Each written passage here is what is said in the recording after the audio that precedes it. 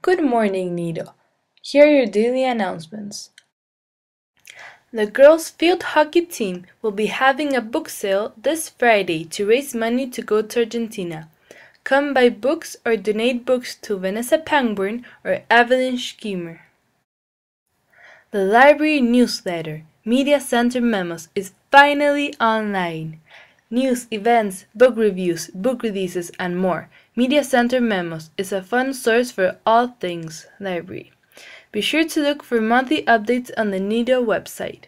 Miss Linda, have you read this awesome book review in the latest Media Center Memos?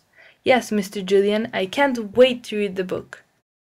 Log on to the Nido website, choose Academics, choose Secondary Program, and open the latest newsletter. Enjoy! NHS is organizing a food drive for the children of the Pintana. The Parcelas feeding program is a safe place that gives these children a meal, tutoring, guidance, and hope. Please bring either non-perishable food or money donations to Ms. Stringer's class or to any NHS members.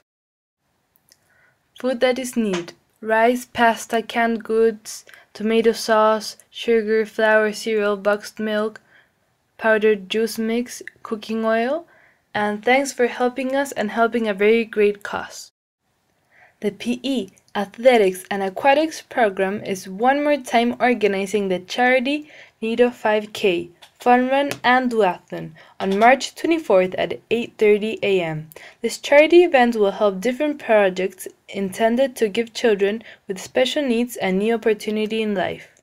You can sign up for the Family Spirit Duathlon the Athletic Olympic Duathlon, or the Nido Ironman Duathlon.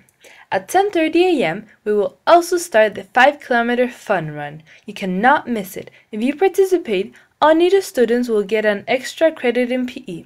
You will have a lot of fun, but the best of all is that you will be helping for a great cause. Thank you and have a great day.